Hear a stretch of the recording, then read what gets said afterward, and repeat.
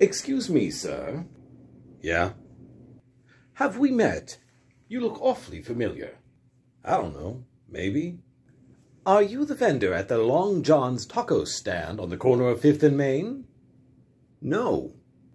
I've got a thing for faces, you see, and I simply know I've seen yours somewhere before. Hmm. Ah, that's right. The other day I was sitting down with my grand-grand to watch a film, and yes, I believe it was called Remember the Tight Ends. Are you two-time Academy Award winner Denzel Washington?